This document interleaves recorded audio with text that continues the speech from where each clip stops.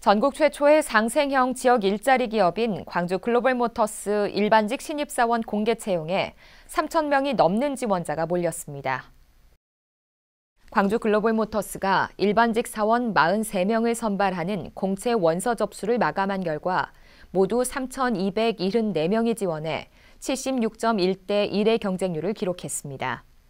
이는 지난달부터 진행 중인 기술직 신입사원 경쟁률 67.8대 1을 뛰어넘은 수치로 최종 합격자는 다음 달 발표될 예정입니다.